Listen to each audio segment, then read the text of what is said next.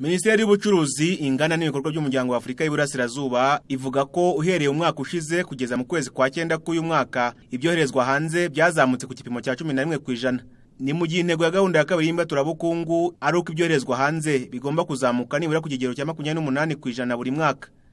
Usibye ko imanuka rya bimwe mu byoherezwa hanze ryaratutse ku igabanyuka ry'ibiciro ku isoko mpuzamahanga nk'amabuye y'agaciro n'icyayi minisitiri francois kanimba asanga amasezerano yasinywe hagati y'iyi minisiteri n'ibigo byohereza ibicuruzwa mu mahanga yaba igisubizo cyo kuzamura ingano yabyo.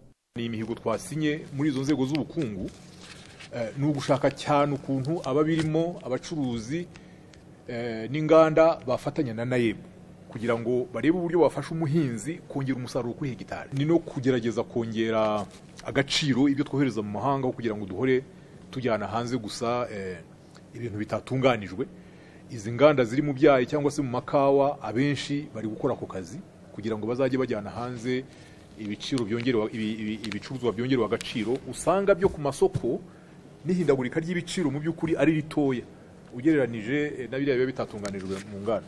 Aya masezerano ndemeza yuko ari igisubizo igihe abayagiranye bakurikirana ishyirwa mu bikorwa ryayo kuko ibibazo bihora bihindagurika ushobora kuba ufite ikibazo iki n'iki uyu munsi ejo ugasanga cyahindutse cyafashe iyindi ntera.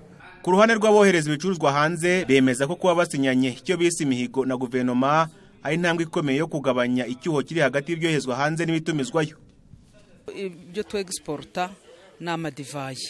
Amadivayi n'ibihumyo turamutse tugize ubushobozi bwo kubona ambaraje numva ku isoko dushobora guhangana natwe kuko ibintu byacu barabikunda.